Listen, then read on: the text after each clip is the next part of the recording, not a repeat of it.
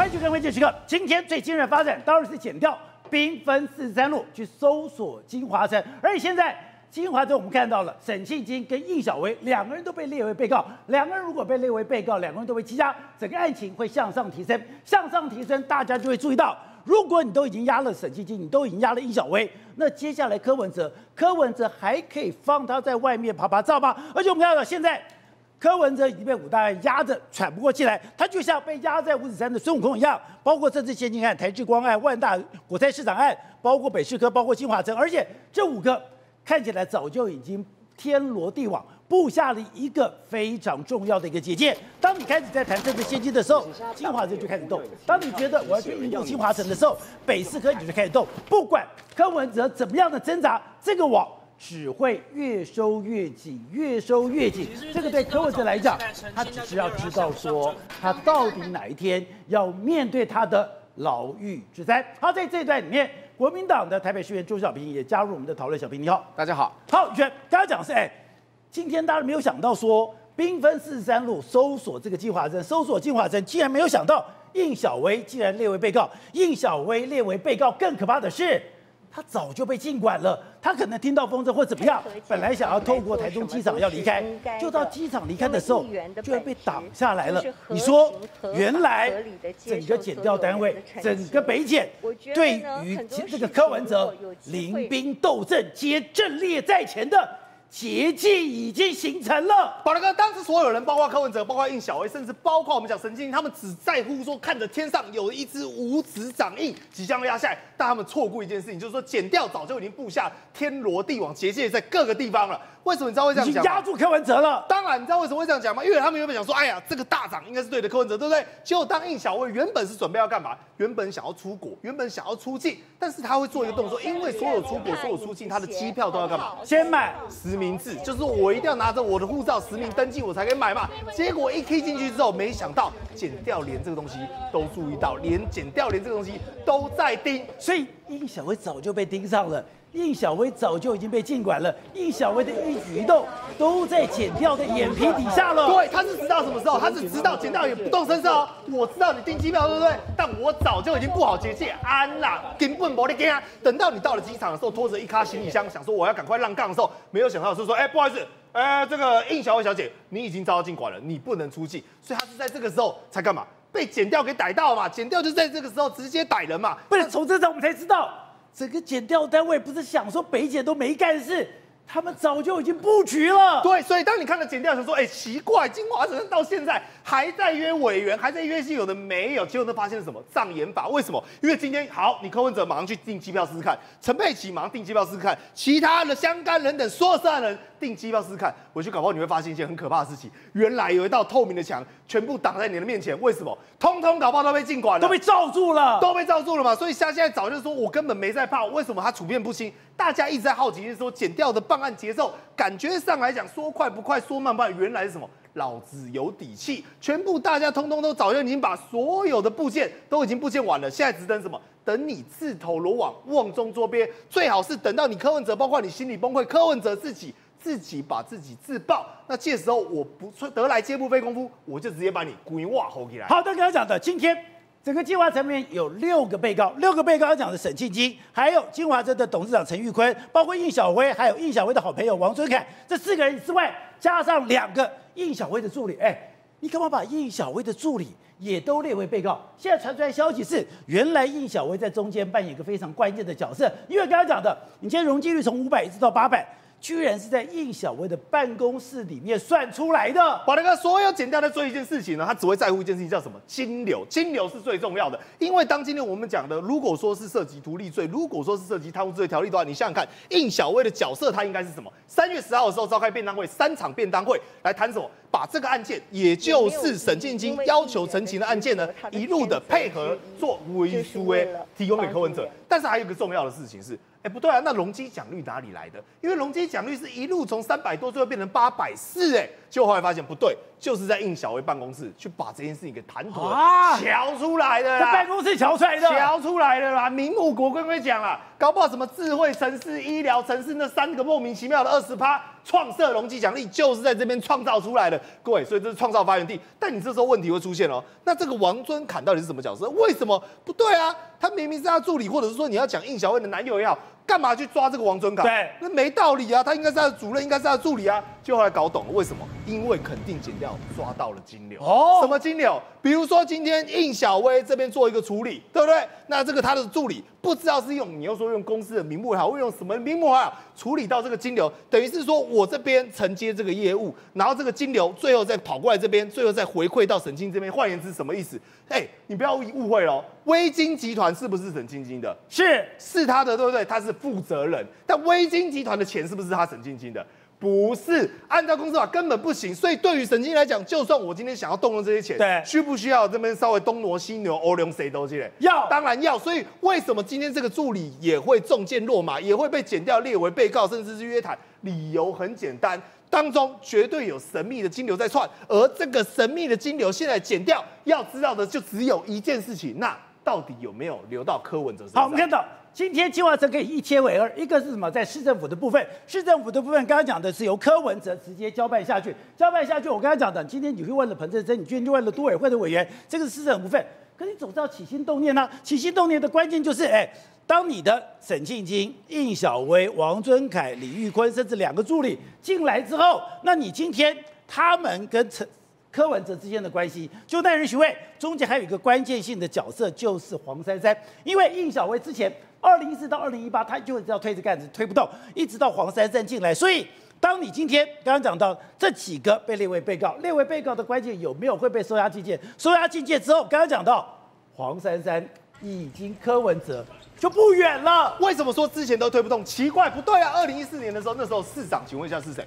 也是柯文哲嘛，对不对？二零一四、二零一八都是柯文哲，那为什么以前的柯文哲不行，现在的柯文哲可以？唯一的差别，各位，要么就是钱，要么就是缺少一个敲门砖。我们谈政治里面最重要的是什么？你要找对人，而如今对的人是谁？就是这个黄珊珊。因为坦白讲，原本柯文哲跟沈晶晶拿到什么脉络，但是从黄珊珊来了之后，不知道为什么这个脉络就突如其来牵起来，而且宝刘哥，你知道更怪的是什么？太顺畅了。今天呢，三月十号召开这个便当会，应小薇作为是在外面喊瞎，结果没想到十七号马上陈情信就来，而且最后三月十九号柯文哲就交办，所以现在减掉怀疑嘛，一个在里面，一个在外面，叫做里应外合。究竟我们现在确认的应小薇有问题，沈静晶有问题而且你，说现在看起来是金流查到了，金流查到了才可以这么快有动作。对，而且你仔细看，为什么沈静晶一直再三强调说，今天声明稿说我没有做啊拿红包，我没有发红包，我没有给红包？那理由很简单，当一个人不断的讲什么，那绝对是他最心虚的地方。我们从柯文哲上可以验证一件事情，所以恐怕减掉是心知肚明，有找到金流，而且接下来这一股流就要流向柯文哲的怀里。好，辉生，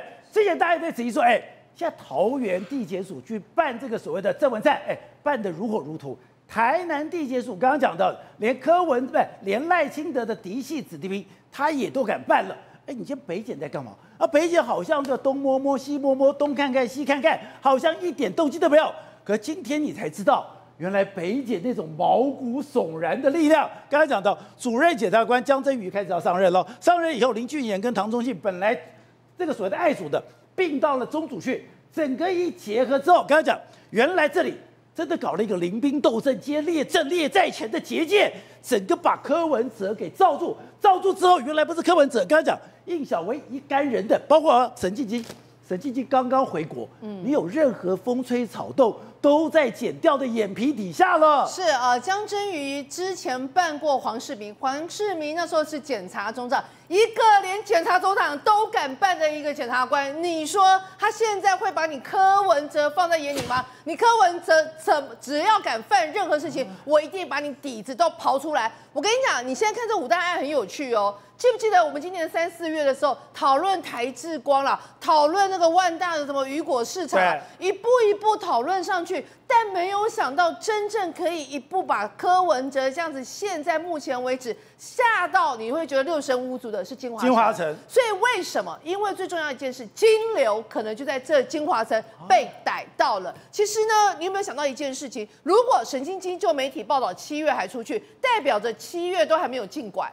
然后呢，他回来之后，呃，应小薇，呃，据媒体报道是昨天他企图想要从台中飞到呃呃香港去。那沈晶晶按照他原本的行程是今天打算要出国，所以换句话说，沈晶晶你今天要出国？对，预计也是今天要出国。所以你看哦，应小薇，呃，到据说是到了，后来被发现被禁管。所以是不是沈晶晶七月还行动自如？回来之后，媒体在这一段时间里面，包括七八月、八月开始的一个政治现金案。就开始吵起来了，所以看在检方，我跟你讲，这个几个案子是本来是分开在办的，但是在八月，因为监察院的报告，政治现金案开始突破了之后，我跟你讲，所有分开案子可能金流找到了，所以全部整整合了，全部都整合在一起的。在目前这五大案里面，我认为有两大集团。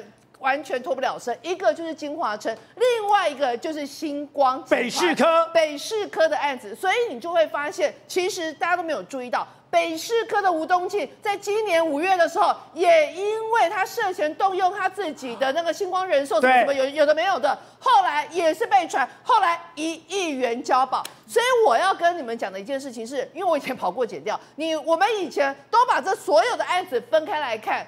但是我跟你讲，他这样子一路看下来，你会发现，事实上从头到尾，北检都是系统性的在办柯文哲这五大案。但为什么沈清金在七月中的时候还可以飞出国，到八月的时候，现在竟然是由应小薇啊尽管，到后来沈清金现在也被抓的情况下，你就知道。真正可能有查到资金流，就是从呃监那个监察院的相关案子下去之后，结果在应小薇身上真的获得突破，不然没有道理。因为你看哦，应小薇她自己本身呃被列被告，她的两个呃的助理全部都列被告，连她的男朋友也列被告，所以这代表什么意思？就是你招媒体啊，而且你就是那个破口，他是破口，他是破口，所以才会，而且我我我认为应小薇应该自己也知道，但没有道理。如果你是一般出访行程，谁会从台北走到台中，再从台中出国？对，那是摩柯林的代际嘛？那你为你凭什么说你昨天呃呃昨天你出去被打，结果今天就那个按照据说媒体报道，陈陈清英也是今天可能打算要出国，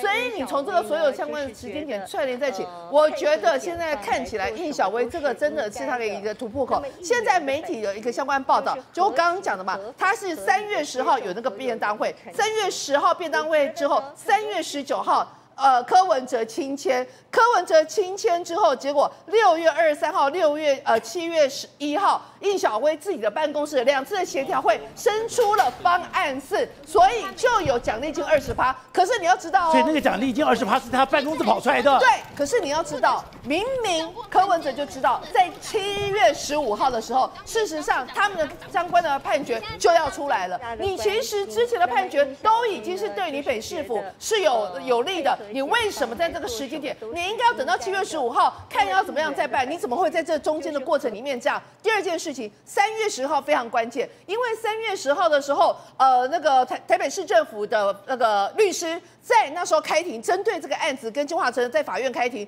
律师当时还说，根据我们台北市长柯文哲他的意思，是这个案子我们是不要协调、不要和解的。所以换句话说，在三月十号，他们台北市政府的律师代表在说，我跟跟金华城这个官司打到底，我不退让。在同一天，他却在议会里面啊，他却在市政府里面跟应小薇在接见这一些金华城人，开始进行便当会。所以神也是你，鬼也是你。我跟你讲，如果没有三月十九号的那一个亲签，就是交办下去的话。柯文哲搞不好就说没有啊，我都尊重啊，不然我之前怎么会跟律师讲说啊，我们这边不不呃，他以为他做了防火墙，他以为他做了防火墙，所以我觉得现在这个案子应小薇下去之后，呃，沈清金今天还有做一件很不寻常的事情，谁会在你本人在被侦讯的一个情况之下发公开声明？发公开声明，除了沈清金之外，前一阵才发生一个啊，李文娟。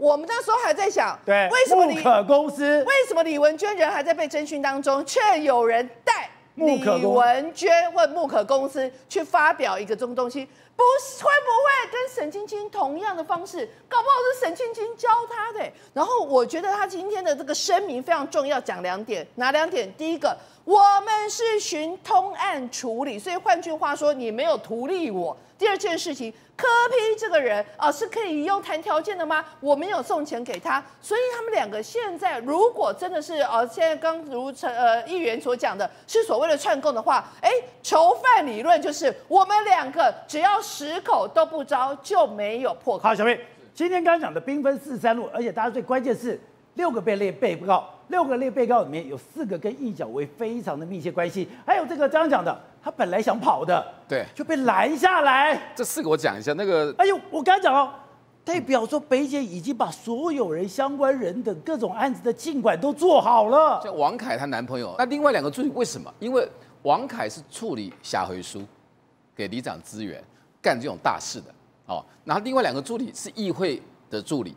那奇怪议会助理的话，因为陈崇文被压，是因为陈崇文党总预算，台资光要提高单价，对。议员有预算权，议员没有行政权，说给你容积，所以只有金流。所以这两个小鬼可能也有好处，两个议会的助理，不看我看研判是这样，是比较正常的研判的啊、所以说，如果今天议员被闹，他等于说我今天不是因为市政府的所谓的案子去卡你的预算，是我中间有钱来来往往的。没有金牛查到哈有几笔啊，很大、啊，对不对？哈，易小薇跟这个金华城中间，简单讲就是如果没有给易小薇钱，你是办不了他的，因为因为这个叫什么图利，只有官员有图利议议员是没有图利罪的，因为你没有行政权嘛。好，你没有容积权嘛，我怎么增加？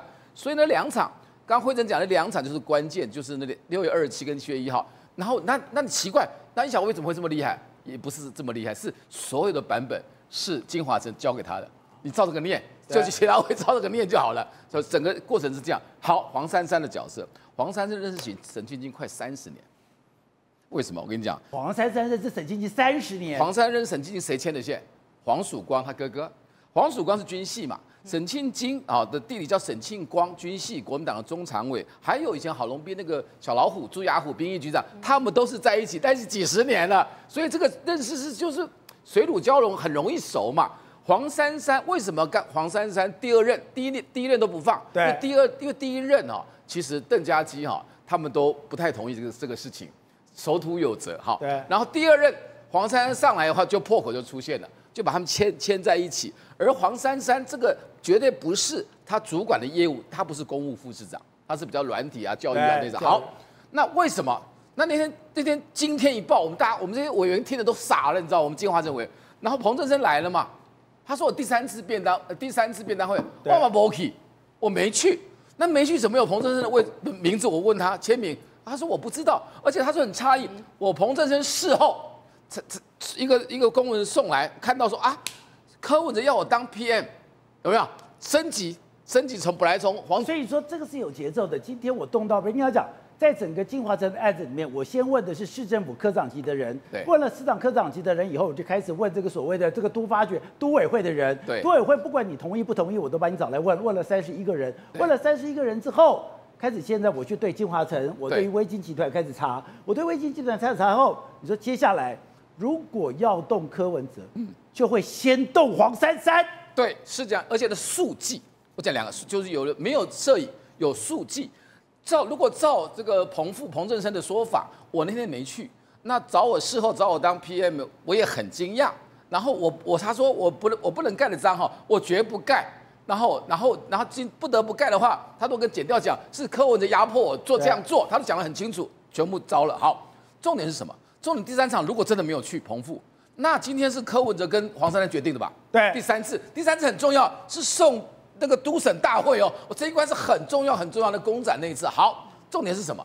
重点是我们检查，我我跟那个检调呼吁过，赶快查那个速记。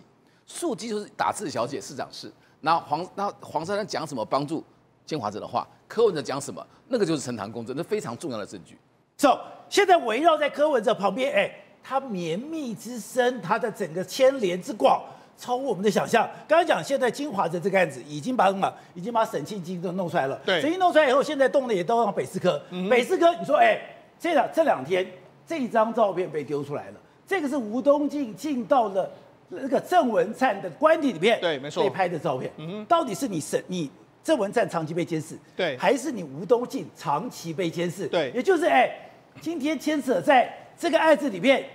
有很多的大老板也会人头落地。我觉得跟你说，目前为止来说是案子越办越多，而且啊，现在还有很多案子可能会开花出来。为什么这样讲呢？实际上，这个这几天的时候丢出两张照片，这两张照片非常有意思。宝姐，这两个人，这个是吴东进，然后这个是谁？这个是林伯汉，他们两个人是星光金的大股东。然后刚好最近呢，星光金在谈所谓的他到底要合并给台新金还是中信金的时候，又丢出这个照片。那丢出这个照片为什么很引人遐想呢？宝洁那次照片的这个时间点是拍在四月十九号的这个时间，四月十九号就拍了。四月十九号，他们见的是谁？他们见的是郑文灿。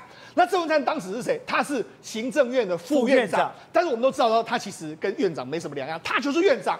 那他为什么要去呢？因为四月十八号的时候呢，中这个目前为止的星光金的这个公司派发了一个文告，就是说我们准备在四月二十二号要谈新兴病这件事情。也就是说，我要谈新兴病。就在隔一天的时候，他们就去见了郑文灿。所以见了郑文灿之后呢，到底现在人家就说，哎，难道是他们要去谈新兴病的相关的问题？因为什么呢？因为现在很简单，保洁大依照目前的状况来说的话，吴东进跟林伯汉呢，他们两个是不愿意新兴病的哦，他们是想要跟中信金合并，因为他们两个在这次的新兴病的这个星光金的董事会里面，他们都投了反对票，甚至现在不是传出来吗？他吴东进早就去找了这个严文龙，严文龙就是中信金的目前为止的董事长，而且林伯汉。还去告董事会？对他这几天告了这个彭雪芬嘛，所以那事实上目前为止就是这样，是不是他们在前一天的时候去看了郑文灿？那看了郑文灿之后呢？哎，因为什么？我跟他讲，这个所谓新金这个金控整并这件事情，绝对不是金管会能够决定的，能够决定的只有两个人，一个就是总统府，另外一个就是行政院，一定要这么高，因为什么？这一次中信金整并，它变成台湾第一大金控。新兴整变来说，他们第四大金控，这个是会动摇国本的，所以他不是这些人。所以为什么他们要去找郑文灿？因为这是郑文灿这种层级才能够决定的。可是呢，就刚刚好，保洁长又流出这个照片。这个照片是什么呢？这照片就是剪掉，不是扣押郑文灿他们家里面的钱吗？一共是六百七十八万啊。那这个跟之前他送的这五百万是没没关系的哦，五百是没有关系的，因为他的五百万跟六百万已经退回去了。对，那这是什么东西？新的钱。那现在写之后剪掉就说，哎，这里面包装了什么？哎，台新银行啦，哎，台湾银行啦，永丰金，还有星光银行。有星光银行。对，那好，有星光银行都有，保险，你知道问题出在什么地方吗？剪掉居然就去查了郑文灿跟他的老婆，他说他们两个没有星光银行还有永丰金的任何的账号。那但是问题，他们的捆钞审理，他们上面印的就是星光的照照片啊。我自己是没看过。是。那你是说我上面十万十万一捆？对，十万十万一捆。每个银行不一样，是，所以这个可以看出来说，上面这个十万十万一捆的，对，是星光银行的，是。但这个星光银行，如果郑文灿没有星光银行的这个所谓的存款，对，我怎么从星光银行领这么多钱？所以现在简单的说，他们现在在办财产不明罪嘛。他们在如果假设保险这两个连了起来，星光银行的钱，然后。吴东清在告，在这个时候又去找了郑文灿，然后又从他家里面搜出了星光银行的钱，然后所以就说，哎，现在目的，我就说现在的事情越来越多。好，那尤其是哦，因为这个这个吴东进，他还牵扯到什么北市科的案子啊？他前一阵子才被剪掉搜索嘛，他一亿元交保，因为他这样，因为他在这个星光爵士堡这个案子里面，他中保私囊，对，一亿交保，所以你想，事实上显然现在剪掉。有在盯吴东进嘛？他开始在这个摸索他嘛。虽然说这个照片可能不是剪掉流出来，但是剪掉绝对有在套透过这个方式。因为北市这个案子，当然剪掉一定知道啊。对，北市这个案子跟吴东进当然有关系嘛。所以我才跟你说，现在这个哦，这个真的是牵扯，你看台湾政商人脉的关系之绵密。你看这一次你又完全都牵出来了。你说从郑文灿的案子，现在从柯文哲的案子是。搞不好有大老板人头落地。这次就是很多很多案子，现在你看起来，哎，好像原本不相关的案子，现在完全连在一起。对哎郑文灿的这个这个金流里面，搞不好有跟星光金有关，星光有关系，那星光又跟北四科有关系啊然后。北四科又跟柯文哲有关系。对，那好所以就是它是完全都串在一起的时候，你就觉得哇，这里面的水真的是超乎我们想象的深啊呐、会长，你知道我们最喜欢大场面了，我们最喜欢血流成河了。我没有想到柯文哲刚刚讲的，你这个人脉之绵密、牵连之广，超乎我们的想象。其实刚刚讲的已经扯到了一个沈庆金，扯到了微金集团。就现在刚刚讲，哎，你现在又扯出了吴东进。吴东进为什么不？这不是随便乱讲哦。你金华城刚在动的时候，现在北四科也在动了。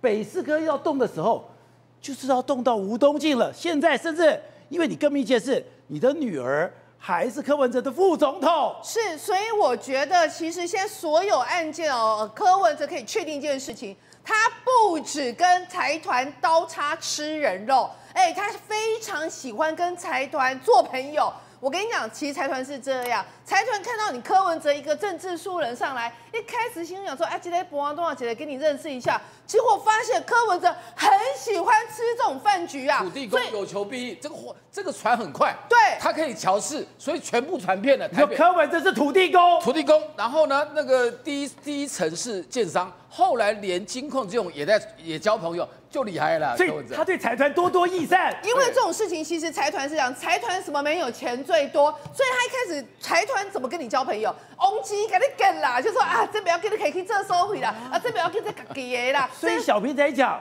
在一个餐会里面，一个人出一百万，然后呢就是两一千万，一个一桌二百，另外是两桌二十个人，一个人在一百万，又两千万了我。跟你讲，这就是每个小平哥有讲那个重点。当我给你一百万的时候，我嘛我给你拼民工，你一定要给我那个收据，或一定要给我。但是他发现你没给我，那代表什么意思？这个人可以瞧啦。我再补一句哈，他叫什么召集人质？他认识了一个大金主，那金主有钱人都在一窝嘛，对那就成立一个兄弟会，一认识一个就就是二十个。都在那种大饭店国宾，你知道那个二十个人位置那个，他是这样子一直滚。我跟你讲，他的人脉是深不可测财团，你相信吗？深不可测，深不可测。你只要敢收钱，对而且收钱没有收据，你就很好买了我跟你讲，。有钱人在测试你这个人值不值得交朋友，都有几个美感。一开始就对你非常的好，然后什么东西啊，这个无话这啦，你你可能这种自己的产品啊，你自己留了不要紧，就发现哎，你来者不拒。后来就发现有一些的呃，所谓你应该踩住的那个线，你也没踩了，他就认为哎，这个人可以拿出来，可以来高朋友，可以高杯一个情况之下，啦啦。可高博一个情况之下，就会成刚刚讲的，其实媒财体那个媒体圈很呃财经圈很多什么龙会啦，什么会什么会龙龙龙年。所以就代表着柯文哲已经被这些财团视为是后卡哎巧哎，所以才会变成是开始看起。然后当你我我认为他就这样被好贵看起呀、就一个 Kanky，而且我 我现在仔细看了，你会发现这几大案里面就不拖两个财团，星光跟那个微金。对所以这个在这种情况之下的话，你说呃，尤其是吴东进，吴东进我们都知道嘛，因为去年他们的那个星光的董事会的一个就是让他被赶出来，赶出了星光这个家族。所以为什么吴东进他要特别去找郑文灿？郑文灿那时候呃还是行政院的一个副院长。那代表，因为郑文灿马起来敲啦，所以就变成我。农委共理哎，瞧你啦。我跟你讲哦，刚刚那个思聪哥讲一个重点，金金病这种事情是动摇国本的，还记得扁案吗？金金病那时候，哇塞，多少钱在整个台北市商场到处流窜，这卡培修、能卡培修、啥卡培修，全部都是跟金金病有关。野凤刚才讲，现在这个案子里面，金华镇已经动成这样子，另外一个北四科也在动，也就是刚刚讲这个五指山五个都没有要放过柯文哲。哦，杰哥，我跟你说，柯文哲哦，面对金华城跟北市科的案子，他一个都逃不了。以前我们一直在讲说他寄生国会，对不对？他结果现在被发现他是寄生财团呐、为什么我跟你讲？因为我是他真的跟财团很好，他非常的接近，距离非常的近。我所以他跟以前这个时候的吴东进的星光金，跟现在的微星集团真的很好。他还不是只有跟吴东进好哦，他连台新金的吴东亮都好。那讲到北师科的案子，因为是在我的选区，大家在讨论说为什么有争议。第一个，就是因为 T 十六要投资计划书，T 十七跟 T 十八为什么不用？第二个，你为什么为了星光人寿而放宽条件？两个重点，结果调出来发现有两个很重要的会议，一个在一百一十年的三月三号放宽的条件，这个里面的人有谁呢？只有六个人就可以决定啊，没有一个什么都审委员，没有顾问公司，柯文哲自己市长签名。这个跟金华城是不是一模一样？都自己签名，都自己签名。黄珊珊是主管的副市长跳过，他他不盖章，没有一个副市长出席哦，只有局长哦出席而已。然后柯文哲竟然敢在上面签名，而且这个记录没有录音录影。第二场会议叫做四月十九号，就决定了 T 十六要投资计划书，十七十八却可以不用。结果。现在前啊，这个市府的秘书长陈志明，他竟然面对大家质疑，他说：“我告诉你，市长就是决定大方向，这不是废话吗？这个重重达，哎，这个金额是超过几十亿的，市长可以直接在上面就这样决定，决定大方向，就把我们的市产这样子的建筑，哎，而且我告诉宝杰哥。”柯文哲好赶哦，好赶！我们没有见过，连公务人员都说以前没有见过那么赶的市长，可以自己跳过副市长，跳过很多的程序，在这个公文上面签名，而且没有录音录影的记录。我还要告诉大家哦，他现在有。就是之前他有一个顾问公司，市府还花了三百多万去聘请他们，给这个招商的建议嘛。结果顾问公司告诉你说，你要三块地哈一起标的话，只有寿险公司有这个能力来标。对，他建议分开标，结果柯文哲不同意，他坚持。所以第一次流标，第二次流标，各位观众朋友要知道，当进入第三次流标，如果招标的时候，就可以怎么样？一家投标。一家得标，所以吴董，一个以新政治出来，现在为什么大家会对柯文哲如此厌恶？他也真的太胆大妄为，而他的吃相也真的太难看了吧？不，柯文哲在这个第二任的时候开始胆大妄为了，所以我觉得那个关键人物还是黄珊珊，是吗？黄珊珊懂法律嘛，他是他是有他具有呃律师资格，他台大法律系毕业的哈。那在这个这在这个这个沈庆金就是北。呃，这个金华城这个案子上面来讲的话，当然黄珊珊是重要的关系人嘛，因为黄珊珊跟沈庆金跟柯文哲三个人彼此经常是一个经常有呃是有相当深的交情的啊，所以这个一切的变化的这个，或是或是柯文哲露出黑化的那一刹那，是在第二个任期开始。他第二任期开始的时候，大案子这些案子啊，他说所以是无案无义不语嘛。大案都沾了嘛？对，你看那现在问题要会破的地方在哪里？它的破口在哪里？第一个，你那个你那个这个万大雨果市场啊，虽然就一百四十亿追加到一百八十亿，可是中公在做。对，中公在做的话，这个最容易啊，因为这个北检就会办的围标，就是就是围标嘛，围标的东东西过程当中，你这个追加在第二标的时候根本没有开标嘛，就直接溢价了嘛。第一标也是溢价，第二标也是溢价，但是中间就有很多包商了。为什么讲这包商很重要？因为包商就可以经由它下包的下包下包，它是一个金字塔型的这种。那很多小包呢，它就可以经由大包的命令去做政治现金嘛。那政治现金的话，其实某种程度看就是契约行为。对。那这个政治现金，我讲一个关键人呢，就是彭正生是关键人。彭正生曾经私下跟很多朋友讲，他在科批的大选过程当中，帮他的出帮他。